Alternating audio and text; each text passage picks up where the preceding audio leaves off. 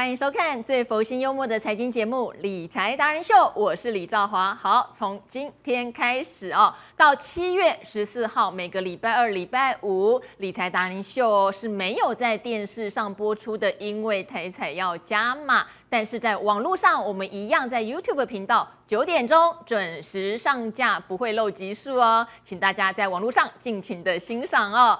好，今天很重要、很重要的两个会，昨天已经预告过了，一个是台积电的股东会，一个是苹果的 WWDC。昨天晚上，苹果公布了它的新头盔哦，Vision Pro，但是价钱也很 Pro。本来市场上说三千美元一顶哦，那大概就是九万台币，没想到公布出来叫做三四九九美元，突破十万台币，差一万多，果粉要不要买单呢？但是今天我们有不一样的观点，因为很多人都说就是这么贵，所以苹果才会留下一个黑 K 哦，先涨后跌。好，但是我们却要讲，如果今天苹果有决心跨出这么一大步去做有突破性的新产品，我们是不是应该给他一点点鼓励呢？而且这个新产品我们都知道啦，这两三年可能量都不会大，但是它也有可能会引爆下一个世代的使用需求。很多东西都是十年前就研发，十年后才大量被取代的哈，这个东西是很重要的。再来，台积电的股东会，事实上是放利多的哦。怎么讲？因为他讲鼓励政策的部分。就算今年的获利可能不如去年，可是明年哦发给大家的鼓励却是不会缩水，甚至会更多。而且董事长刘德英有讲了，明年是台积电的成长年，这些都非常的重要哈。好，所以今天话不多说了，有两位来宾来帮大家做解读。第一位哦是我们国泰正奇的蔡明汉，明汉经理。好，明汉经理会来解说，虽然这个头盔哦贵松松，可是他说呢。不是苹果的问题，是我们消费者的问题。像施工昨天来嘛，就讲说九万、十块、十万，他都会买给理财达人秀做试用哦。我们来跟施工讨一下。好，但是苹果的启示录就告诉大家，企业愿意在新产品上面做研发，都是值得赞许的。尤其不要忘记，如果台积电承诺明年重回成长，那么今年下半年。消费电子能不能复苏，就值得期待了。等一下听听看明翰经理怎么说。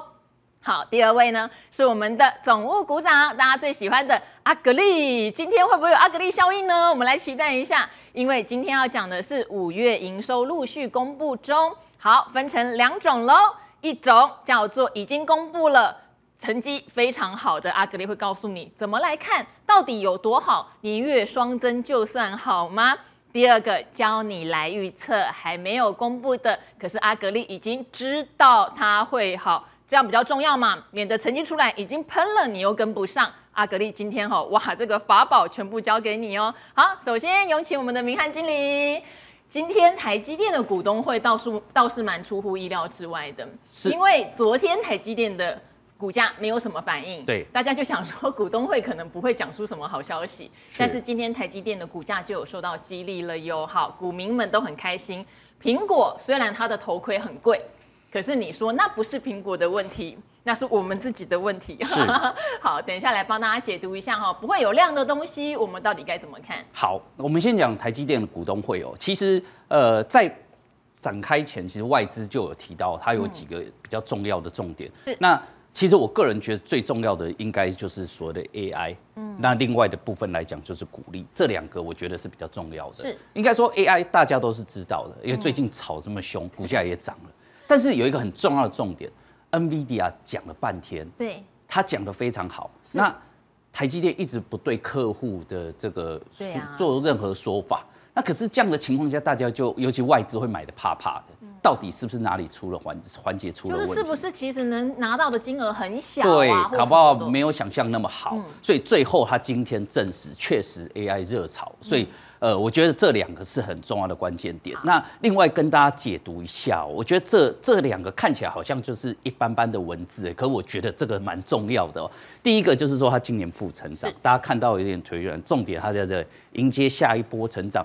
今年负成长，后面会呃成长，代表什么意思？就是今年就是低点，对吧？就是明年应该会走高了。是。第二就是 Q2 已经过了月呃这个季度的基点，下半年会优于上半年，所以这样子两个合起来代表什么意思？就是现在就是长波段的最低点了，业绩面后续会持续往上，所以我觉得这块来讲，应该对整个后续的一个趋势是正向。还有一个大家一直看到，他就一直在讲先进制程，还有先进封装这两个一个部分来讲，其实尤其是先进封装，他一直提到资本支出里面哦。四分之三，他都用在先进封装。他一直告诉大家，大家都一直在关注先进制程。他说这两个哦，对他来讲是一样重要的。那所以，我个人觉得，刚才也提到，他今天的说法是非常的正向，股价也有所反应了。可是，我个人觉得，大家常会问说，你看这个后续股价怎么走？它确实目前是一个区间整理的格局。是。那我个人觉得，这个到底后面怎么走？短时间来讲，就回到我们上次来讲大盘后续的走势。记得我们上次讲六月、七月给它两个月的时间，还有接近一千点的行情。这个代表我在讲的，其实就代表台积电，因为台积电不涨，指数是没有空间的。所以我觉得现在的问题并不是在台积电，是在全球的状况。因为举债的上限的问题解决之后，六月中马上有费的要升息的问题。现在呃杂音不断啊，所以我觉得涨多了。加上为前前面有个不确定因素，所以我觉得很有可能就在这一两周，它会持续震荡整理，筹码沉淀，等待 Fed 的问题结束之后，它应该就会有这个再往上的空间。这块在反映什么？就是第三季的旺季，切记不要等到七八月它已经旺季来临了，它已经涨到尾声段的时候，你才讲说第三季来了，我要买旺季。是，其实后续来讲，应该就很在六月就会有这样的一个反应了。这是目前对短线对于台积电的看法。另外一块来讲，就是刚刚这个公司的说法，就是今年会有微幅的衰退，但是后续要迎一波的成长。这是外资给的台积电的营收的走势。这个是今年，二三年可以看到持续成长这块是凹洞。对，那明年就会走高了。哇，所以我觉得没有太大问题。而且我要告诉大家，其中一个隐含很重要的事情哦。这是二零二二年，对这个当时的营收，因为快速创高，所以它当时的股价就是配合着这个基本面，所以创出六百八十八块的一个高点。是理论上今年涨在这里，你要过高，理论上是不合理。嗯，因为它理论上基本面一定会跟股价它是 match，所以今年比较低，所以理论上是不太可能过高。那但是很重要的关键点是，明年是过去年的高点。嗯，我们讲基本面。所以，如果我们在讲，如果这个外资的报告是合理，等到到年底，这个状况没有太大的改变，照理讲，明年的营收创高，代表的就是它的股价就会去创去年的高点，就严格来讲，等于说它明年就有机会过去年六八八的高点。那只是说我常常讲了，股价会领先反应，到了年底的时间点，只要确认这个状况不变，其实很有可能在年底它就有机会去挑战去年的高点，所以。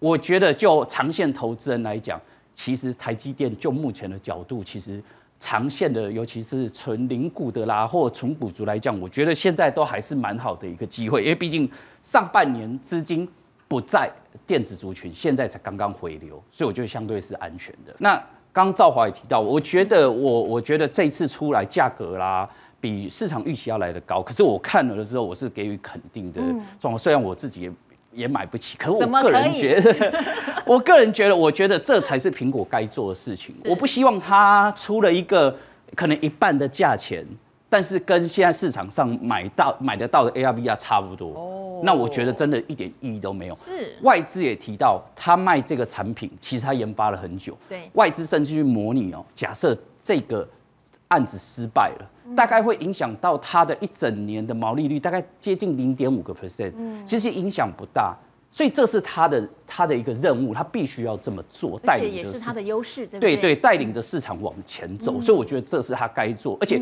万一失败了，其实他也没有冲击那么大，所以严格来讲，对他来讲是一个加分的。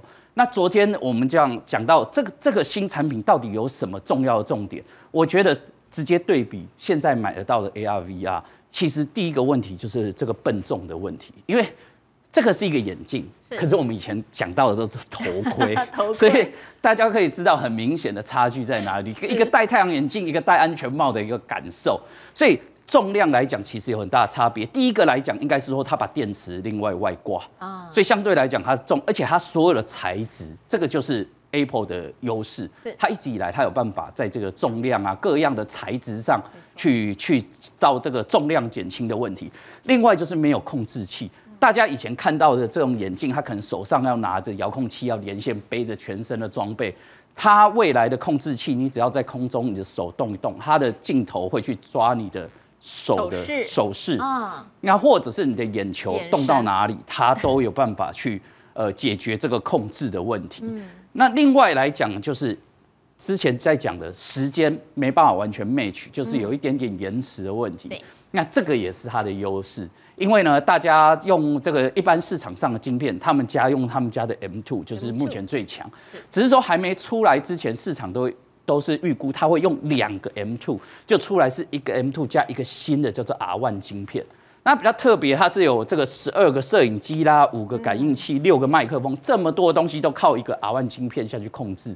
它这个就这样，它接受、处理、传出去，做三个动作，但是呢，它的反应时间比眨眼的速度还要快八倍。所以理论上来讲，就是它的速度理论上人体是没办法感应到的，所以你未来就不会有这个延迟时间上对不上的问题。是所以相对来讲，我就觉得人家花钱自然就有这个优势所在哦。另外一个就是后我们后面就是一些创新了，这都是呃在过去没有的。第一个部分来讲是三 D 照片，对这个看起来听起来可能比较抽象。我简单道理，这是一个开会的场景。对，你会发现，简单来讲，这四个人开会，其实四个人都是戴着头盔。嗯，可是你照理讲是长这个样子，可你看到他的人是没有戴头盔的。哦，看到完整的影像他要开始之前，他先把这个这个眼镜倒过来，是先照自己一下。嗯他扫描过一次之后，他就会这个是模拟出来的。对那它等于说三 D 照相之后，它就模拟成这个样子，所以无论你的讲话或者你眼神，它会完全反映到这个上面。所以这整个这些人全全部都是虚拟的。是所以这个就是严格来讲，它也有跨入这个 AI 很重要的一个方向。那这个另外来讲，就是这个 eyesight，就是简单的道理了，它解决一个大家可能以前看过那种短片，都在笑说有人戴着 AR VR 眼镜，就因为玩的太激动去撞了墙都不知道。它这个有个好处就是上面有一个旋转钮，是，那你本来呢，你可能看到的是这个人的场景。对所以理论上你是看不到外面的样子。对你只要这个一转之后，它就会慢慢变成透明。你可以看到外面，也可以看到里面，你自己可以去调整你要的比例。那当你可以看到外面的时候呢，这个画面就会出现你的眼睛。当你看不到外面，它自然就会变成全黑。所以它这个都是过去这种所谓的。呃，这种穿戴装置没有出现的一个东西。另外就是虹膜解锁，这也是蛮酷的，因为以前的指纹啊、Face ID，现在它用虹膜，它用眼睛，只要确认这个眼球，理论上它就可以去解锁。是而且这个东西没办法复制，而且他也提到，其他人用 APP 透过这个机器，它也没办法取得你的虹膜，所以严格来讲是非常的安全。另外就是它这个单边就是一各有一个所谓的四 K 的一个电视是，所以严格来讲就是说，它这些都是创时代的一个一些创举，所以严格来讲。它贵，我觉得是一个合理的一个角度。是这次它出来之后，会有非常大的一个所谓的创举之外，那我们要告诉大家，这个外资的看法长什么样子哦？是简单道理就是，我们刚刚讲三千五百块，然后外资马上把它拆解，理论上成本大概就是一半，一千六百块左右。哦，这成本蛮贵的耶。对，其实比起大家想的，其实贵蛮多的，所以它的价格才会这么高。是第二个重点来讲，就是公司或外资都在讲，明年年初开始卖，对一年大概卖一百万台左右。是那我那时候讲一百万台到底什么概念？嗯，现在手上持有 iPhone 的人，全球十一亿人，是所以简单来讲就是一千每一千个 iPhone 持有者买一台，就是刚好他要的这个比例。是那大家都可以做分析师，你自己觉得这个一千这个数字对还不对？如果你觉得可能是一百个就可以，每一百个人就会买一台，那它就是一定是爆量。如果最后是五千或一万才买一个，那它就是不如预期。我个人觉得目前抓个一千还算是比较合理的数字啦。那重点是外资讲明年一百万，他看到后年应该会落在三百到四百万，所以应该说未来成长趋势一定是确立的，尤其是他在讲明年后续会再出低价版，也许是在这个一百这一半左右的价格，所以未来这个价格如果慢慢符合市场的一个需求来讲，就会有持续这个所谓的呃量能出来的一个空间。那再来呢，我们就要跟大家讲了，讲得很好听啊，可是今天的股价。好啦，这句还是重点，不管它卖一百万还是三百万，都不是一个大量型的商品了。呃，应该说比较指标股就是玉金光，今天也是跌最重的个股。重错。那这块来讲，我们要告诉大家，这是外资列出来的 VR 个股，不是苹果的 VR，是整体整体 VR 的个股。那我个人觉得要告诉大家一个重点，大家都认同玉金光是讲 VR，或者是讲宏达电这两档。对。可是有一个问题。你会发现，除了宏达电占营收很高之外，其他的 其实都一样。玉金光一点比较高都没有。是。那问题是宏达电它八九成，问题是它没有办法获利。那人家在讲啊，到底苹果出来对它是多还是空？这真的没办法定义，因为有可能是因为大家未来都去买 Apple，所以不买它，这是空。但是也有可能因为 Apple 呢带。带领着大家这个持续关注 VR 之后，发现 Apple 买不起，反而去买宏达电，所以这个未来我觉得还要观察。但是目前呃还是亏损的状况，所以我觉得真的只有只有题材。所以整个架构来讲，我还是要告诉大家，VR 的效应真的非常非常强，是不争的事实。但比例非常低，也是不争的事实。所以一定会导致股价波动性很高。所以我觉得说这里面的个股也不是不能买。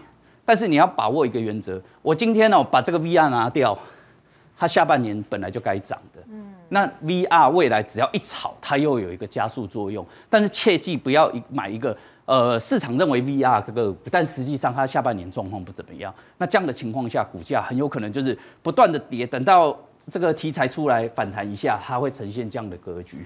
所以我们就帮大家选一这个其中有 VR。这样基本面相对比较好的个股，我们先看到智茂，它是这个检测设备的个股，它有这个自动化检测设备跟这个所谓加速系统的检测设备这两块。这一块来讲是在电动车的一个这个需求，那目前来讲也是快速增长，我觉得没有太大问题。另外一块更重要是在这个 AI，所以它这两块刚好都踩在一个是踩一个长线趋势，一个是今年最夯的东西。所以它的特色来讲，你可以看到，这是它的营收，这是它的 EPS。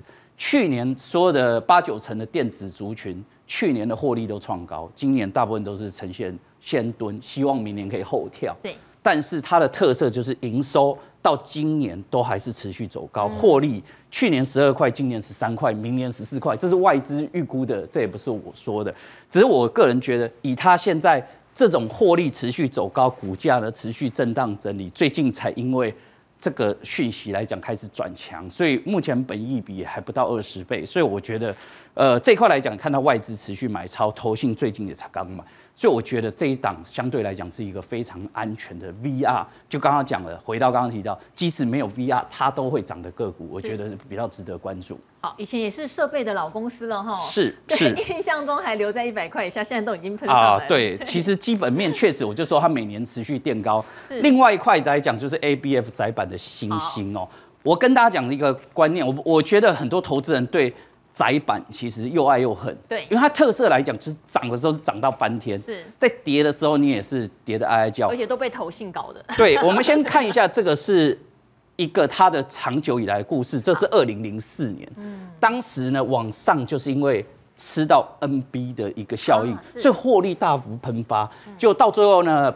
这个电脑也没成长力了，它就获利开始衰退。对，一直到五年前进入五 G AI 高速运算，所以这五年才开始快速喷发。是，特色就是今年因为这个所谓的疫情过后的。这个需求回吐，所以有一年是蹲下的，但是其未来预期都还是快速成长。这两块是未来预期，是不是？呃，对，这两个是未来的预期。这你这个是今年的一个位置，今年都蹲下去，跟台积电一样。是，而且它还是简单来讲，它还顺着这五年前的这个同一条线，没有太大的改变。是，所以简单来讲，我觉得 A B F 窄板来讲，其实没有太大的疑虑。而且呢，它从 A B F 所有的客户，就是 Intel、A M D 啊，在加总的情况下，也是第一季见到低点。嗯，所以一样回到台积电一样，长线是对的，短线今年低点也已经过了。所以长线来讲，我觉得没太大问题。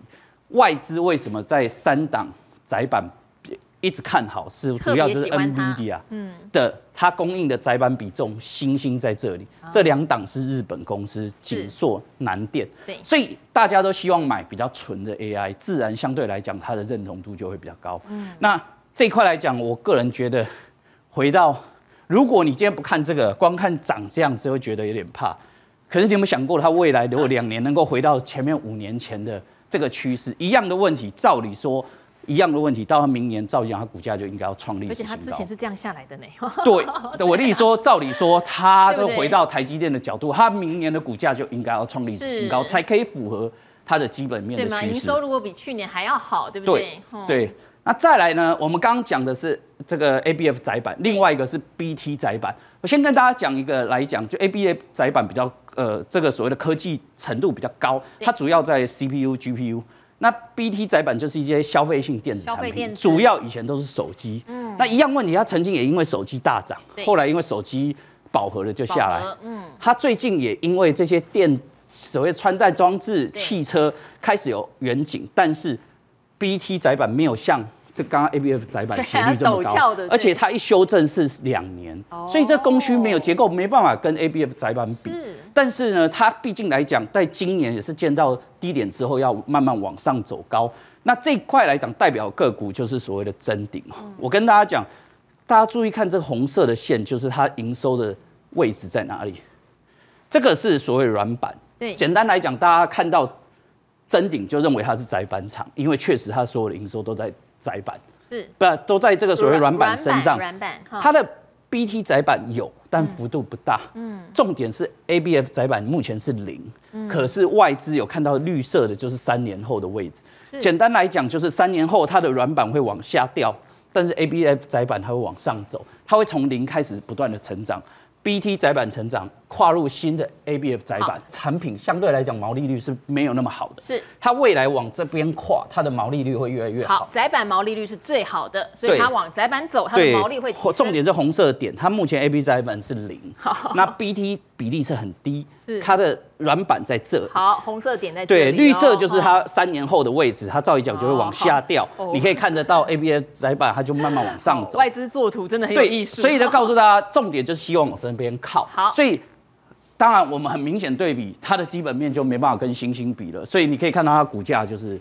横向整理，横向整理，但获利一直都是好公司哦。对，所以但是你可以看到筹码，大家目前来讲，相对来讲，即使外资也觉得也不爱，但是它特色就是不断的卖，但是股价来讲都还在区间。我个人觉得一样的问题，下半年这些都慢慢的恢复成长，所以它股价就应该往上，尤其到年底，我觉得未来一定会看到讲真顶要进入。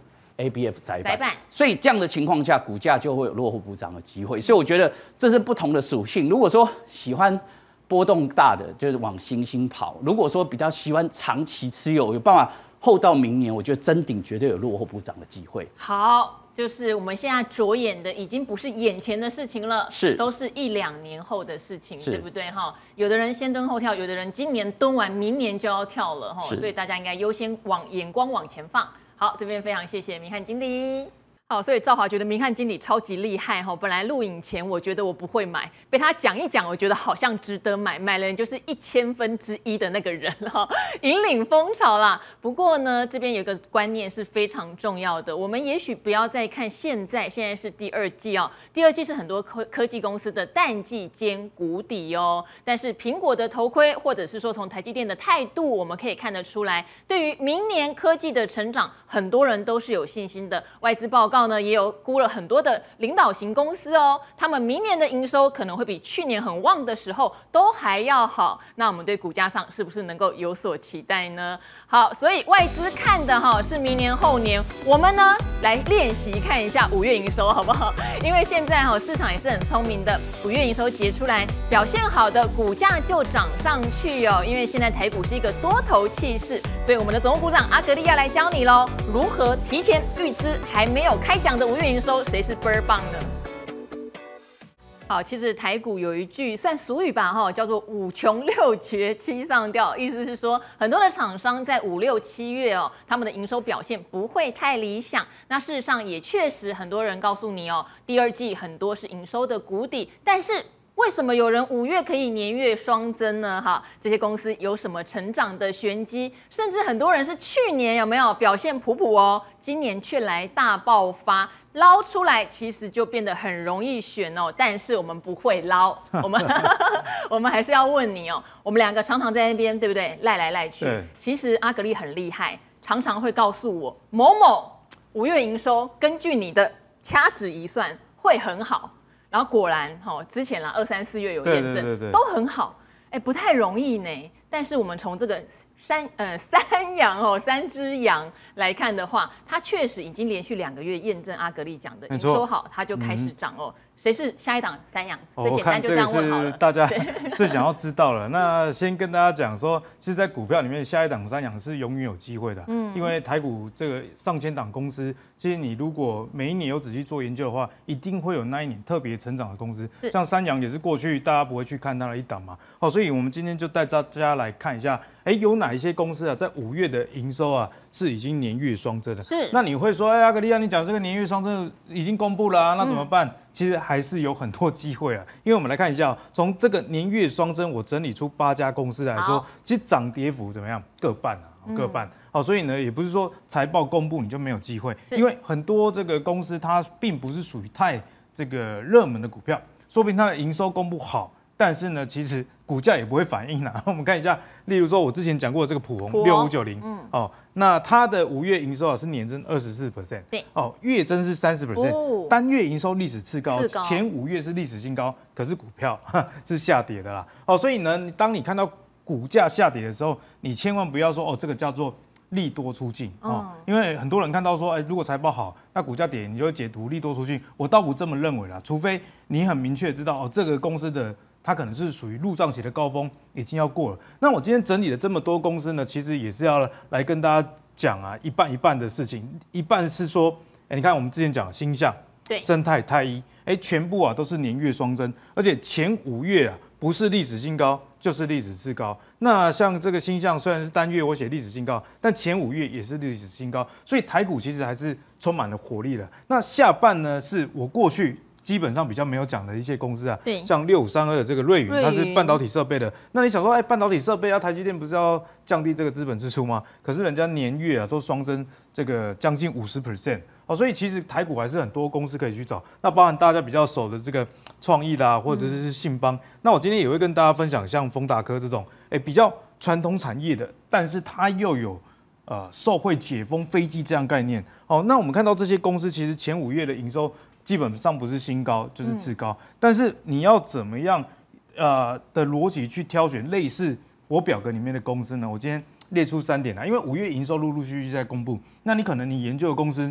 有一些营收出来，但是你不知道该怎么去解读。而且有的，如果说像刚刚讲的，明明就年月双增，对，却没有涨，是不是怪怪的？对，我是觉得说股票不需要那么紧张啦，因为。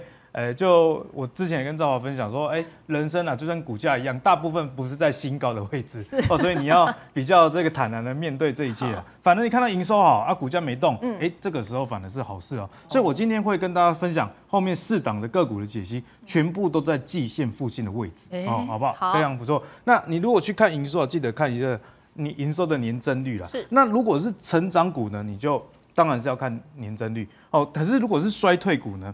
你看月增率会比较适合，例如说台股很多电子相关的公司，你看年增率其实还是非常难看。对，可是你会觉得说，哎，这个股价为什么一直在涨？哎，其实人家月增率不错啊。那你如果把一到五月拉拉来看，这个营收趋势可能是往右上角去走，虽然还是年减的状态，但是至少已经脱离最坏的状况。所以成长股你看年增率，哦，那衰退股呢？你看月增率，我觉得。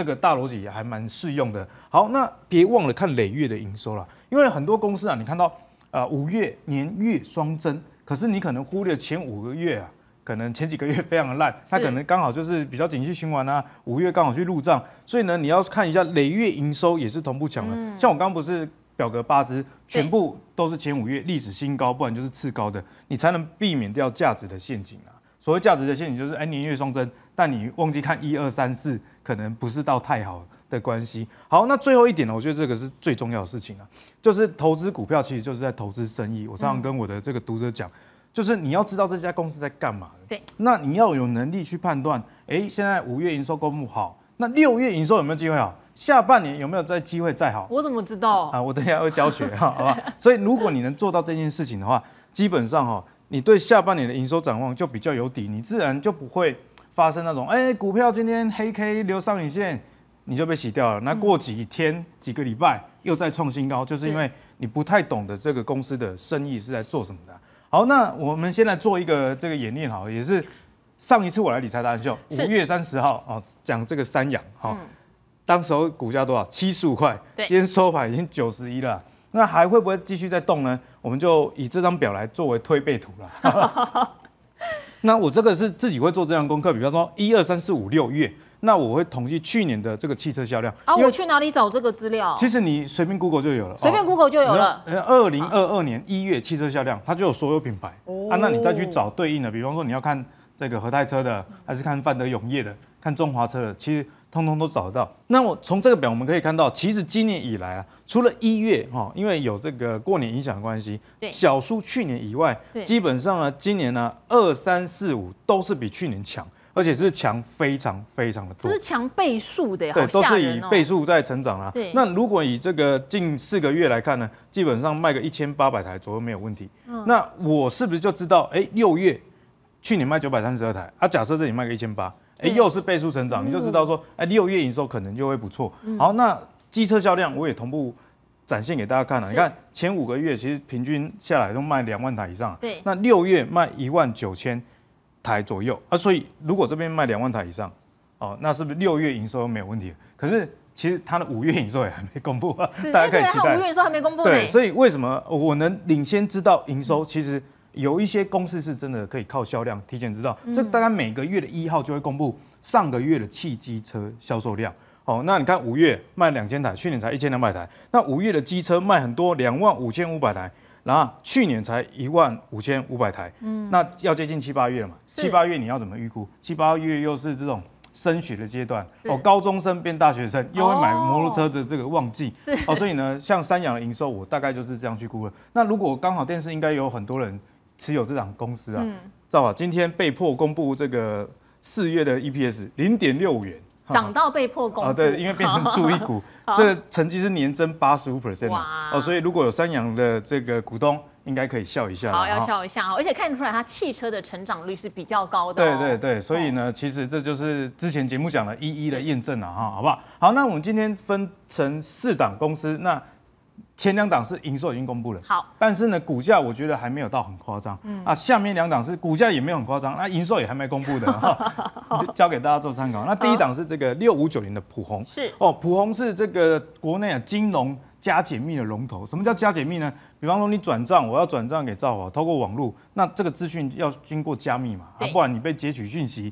那可能就人人才应该是不会不人应该不会两次啊哦，但是被威胁可能就人才两次啊，好不好？所以他是这做这个金融加解密设备是哦，是国内的龙头，只是大家比较少讨论到它。治安相关嘛，等于对，没有错哈。那我们看现在股价大概在九十五左右的位置啊，你看是不是跟月线、季线，其实这个乖离率跟过去比起来来说，算是非常非常小啊。绿色这条是季线，你看过去为什么涨很高的时候，这边追的人被套牢，因为乖季线乖离率太大。但是呢，之前涨到一百一十几，现在只有九十几块，营收又再次创下新高的情况下，我反而觉得大家就可以留意了。那外资最近啊，也没有什么在很大量在卖了，所以我觉得筹码上相对沉淀。那 K D 又已经低档开始交叉，那我觉得这个成交量已经进入有点窒息的感觉。我最喜欢这个时候了，是哦，就是。公司比较容易，价格跟它的价值不会落差到太大。那我们看哦，这家公司其实六月会不会继续好？我觉得几率非常大，甚至到年底一定是越来越好的。因为你看到从二零一九到二零二三，这个营收的趋势都是有去无回啦。哦，那为什么会有这样情况？等一下我会来再来跟大家讲。那我们再看这个 EPS 的年增率，哎，第一季很强哎，年增四十三趴哦。一点四八元，然后去年才赚四点七，所以如果你以此类推，啊，今年有机会赚个六块的话，那九十几块对应下来，本一比大概十五、十六倍，也不算太贵哈。所以这个估值的部分帮大家做一个示范啊。那我为什么说它的营收只会越来越好呢？因为第一，我刚刚已经说了，它就是龙头。那现在其实金管会蛮 care 所谓治安的问题啊，是甚至你看国内不是呃资本额多少以上，你要有治安长，还有相关的一些啊、工作的人员。那我们就来看一下普宏到底要干嘛的，这样比较直接啦。像富邦金控，富邦应该是很多人都有开户的。二零二二年哦，他们就导入普红的治安系统哦，就是这台哦，Security as a Service 是哦，就是治安的一个服务的系统啊。那这个服这个服务的系统是在干嘛？他说安控及服务，意思这名字就取得很好了。你透过这个装置来进行服务的时候，安控也可以一并的进行。你看，可用于国内外的金融支付的交易啊、资料保护等等哦。所以所谓的治安要透过怎么样来运行，其实就是透过啊普宏这样的软硬体的系统。所以我才说它的业绩应该是会越来越好。再来啦，现在国内对于所谓的这个法规。对哦，因为金控相关的最重视所谓的法规的系统，还有洗钱防治哦，这个都是国家大事了。那普宏的子公司有一家叫节制商讯，这个有新贵哦，它今年前五月的营收也是历史新高，年增率是二十 percent，所以它除了本业强以外，它子公司也非常强，这个持股百分之六十以上。是在新贵已经挂牌，对，没有错。好那我们看一下它的客户，我们直接看它的客户就好了。法规报表系统客户中央银行，对哦，那这个法尊系统客户是谁？台湾银行是哦，所以你从它的客户，你大概就可以知道，其实它的护城河有多深啊。所以对于金融支付有兴趣的，治安的保护有兴趣的，对其实普宏是国内的一个龙头，大家可以多加好关注。这边治安，这边是法律，对不对？真的都哦是台湾银、不要得罪他呢。台湾的银行，大概就是他的客户啦。哈 因为对法律应该很熟，要小心。对好，那接下来呢，我们来跟大家讲丰达科哦，嗯有没有？就像我今天讲的，我今天讲的公司哦，都跟季线离得非常近，绿色就是季线的位置是哈，粉红色是月线位置，所以目前丰达科的股价大概就是在月线那快要被季线碰到了，那这条季线是上升的、啊，所以碰到会有一个支撑的效果，像它之前。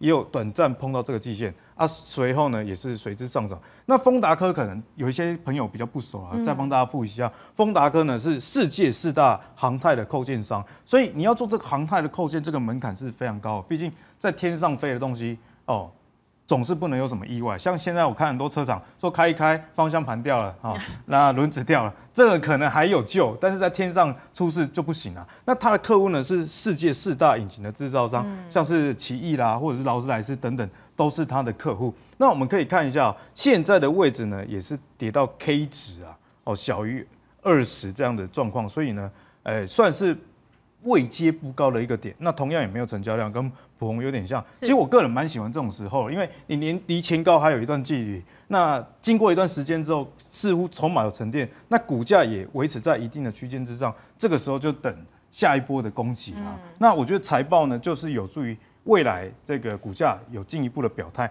我们来看一下哦。其实这家公司很好去理解，二零二零到二零二二的时候，这一这一块就是月营收的状况。它是疫情受害股，疫情期间，啊，飞机就不飞了，啊，新飞机也不做了。那扣件你到底是要卖卖给？谁？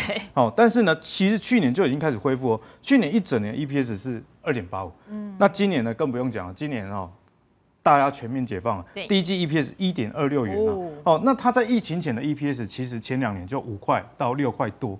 哦，所以我觉得啊有机会今年挑战七，为什么呢？因为这边压抑的营收啊。应该会在今年啊开始慢慢的爆发，那是不是有机会超过二零一九？二零一九的那一年的 EPS 是在六块以上，那你如果以七块的 EPS 来对照现在这个九十几块的股价，其实这个本益比也真的是不高是。哦，而且我觉得这个趋势蛮明确的啊、它做的就是像这种呃铝铝合金的这个螺栓，螺栓哦那这个螺栓就是锁在这个飞机引擎啊、那飞机引擎的这些扣件呢，其实它也都有做哦，所以它的这个。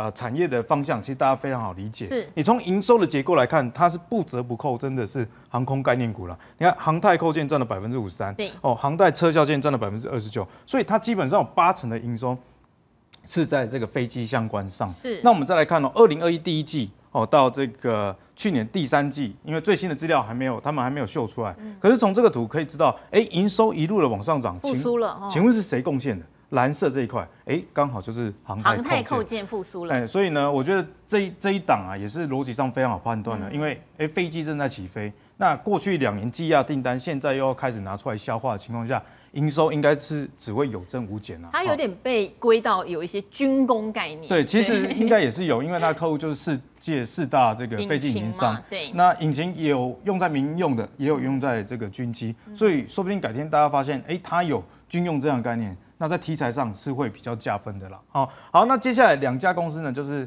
哎，营收还没有公布，但是公布，我觉得也是会不错的啦哈。那第一家就是这个六二四五的利端，哦，那你看这个股价其实也整理的不错了，因为这是最近三个月哈。今天一个黑 K 呢？黑 K 更好，因为就越来越便宜，因为它快要碰到这个月线了嘛，粉红色月线，这一样也是一个上升的月线。而且我们来看一下，其实外资啊，最近这一个月买了四点七六 percent 的股权哦。哦，所以外资最近一个月买大概就是买这里嘛，对，但股价并没有往上走，哦，所以我觉得这样不错。而且四百张大户其实也买很凶，近四周大概也是近一个月嘛，四百张大户买进七 percent 的流通在外股权，所以外资买，哦，啊，原本的大户也买，对，那股价呢，其实还没有。正式的有效的突破前高，所以我觉得现在大家还是可以多加关注，而且筹码上啊，现在的成交量也没有那种周转率过高的问题。那我们来看一下这家公司的基本面怎么样？其实啊，它是世界治安设备网，应该讲准确讲，啊网络硬体的治安设备是哦，因为你当你网络流量很大的时候，你需要这些硬体的设备去做好治安的管理嘛。它是生产这些设备，市占率百分之四十，很高哎。前四月营收历史新高，年增二十七点八 percent。是哦，那连台达电都入股它。对，台达电是它大股东。对，台达电在二零二零有参与它的私募，现在占这个股权大概是五 percent 左右，非常非常的呃认同这家公司，不然它也不会去入股。所以这可以说是一家有台达电认证的公司。那我们来看一下，其实它的毛利率啊也是一路走升的情形，营业利率。表现的也不错，是。哦，所以我觉得说，呃，在全球治安的这个趋势之下，营收你光用想了就知道，这不会减少了。像我之前也有跟赵华分享过，这个世界的这个治安设备领导厂商 Palo Alto，这个是美股的。哦，过去八年它的营收复合成长率是二十 percent 以上，是，所以也显见为什么啊，这个利端它的 EPS 可以突然的这么彪悍，因为你看从二零一四到二零二三啊。基本上它的股这是股利啦，股利也是持续成长，啊，股利持续成长就代表什么？EPS 相当持续成长哦，所以这家公司在五月营收公布之前呢，我觉得大家还是可以多加留意啊。它会不会有那种公控？因为它算是工业电脑，对对对，会不会有入账的问题呢？哎，我目前看起来是比较不会有了，因为它的生意已经做到很大了，有有些是啊，我特定做一些。比方说啊，军用的 N N B，那可能有突然一个大单集中在某一个月，那我的市占率已经到全球百分之四十了。而且这种资讯安全的设备，其实是现在哎每个月都需要，比较不会有单月入账的一个问题所在。好，那最后我们来看一下，这个叫做微软哈，三声哦，不是微软，怎么微软？这个是伟创的儿子啊哈，伟创软体公司啊啊，那它其实呢是台湾资讯委外的龙头啦。比方说，你用过了某一些银行的信贷系统，对，他们其实银行不会自己去做这件事啊，是就委外哦，请微软哈来做哈，微软来做，微软对。那现在呢，各行各业都是在做这个 IT 嘛，都是资讯服务。那资讯服务他们也不可能自己做，成本太高，就外包。所以呢，微软就享有这样的趋势。我们看一下，二零一六年的 EPS 哦，才一点五元，对，隔年变二开头，对，再隔年变四开头，再隔年变六开头，二零二零变七开头，那，二零二一呢短暂没有成长，可是去年呢 EPS 就已经到八块多哦，所以你从这个趋势来看，就可以知道这是一家非常彪悍的公司。可是哦，你看哦，它其实相对冷门，成交张量大概一两千张而已，嗯，好，但是我觉得它基本面非常好。第一季 EPS 一点八三，哎，去年已经赚八块三了。对，第一季还成长年增十一 percent 了。那外资今年以来也买了五 percent 的股权。哇，买那么多哦！所以在现在这个位置刚好是季线的位置。哦，它均线还纠结在一起。现在台股已经涨到一万六千多点。对啊。那你要找到一家哇，EPS 将近一个股本，而且你用本一比来估啊，大概是十三倍多而已。那如果今年还在成长，现在的潜在本一比等于说低于十三倍。嗯。哦，那资讯服务还在持续啊的成长之下，我觉得这家公司可以。多加关注啊，因为我们看一下前四月营收其实也是历史最高的位阶了。那三月的营收历史新高，四月营收历史次高哦，所以我觉得五月营收应该不会到太差。因为就像我们刚刚讲嘛，你要关注一家公司会不会成长，你要了解它在做什么。那这个跟电子零组件的公司不一样，电子零组件的公司，比方说，哎，上半年拉货拉很多，下半年可能就不拉货了。可是资讯服务这是一而再再而三的，大家这个各行各业都在使用，而且你请他做了之后，你还要继续请他来维护。维护。啊，所以他为什么 EPS 能越定越高？因为他并不是啊，我做一个 case，我只能赚一次钱的公司，好，我知道，虽然大家哈有一些人已经变得很依赖阿格力的产业研究跟个股研究了，但是他还是希望哦可以把这一套方法教给大家，因为这有一件事情很重要哦，看到它的营收很漂亮的时候，不是叫大家看到喷上去了赶快去追，而是发现哎。它营收一直都很漂亮，它的产业特性有持续性，可是股价却低低的，这不是一个最好的时机点吗？大家好，千万不要买在山顶上，一直问怎么办怎么办，反而是要勇敢有把握，好公司哈，价格没有动的时候是滴滴让你未来赚钱用的哦。好，今天非常谢谢两位来宾哦。那刚才明翰经理已经讲了，苹果的头盔其实在科技突破上面一个很重要的意义哦。明年如果台积电认为会恢复成长，我们可以看一下很多的科技股也有机会在明年恢复成长动能哦。所以大家可以慢慢的来挑选一些今年滴滴明年会跳起来的股票。希望今天理财达人秀对你投资有帮助，明天再会喽，拜拜。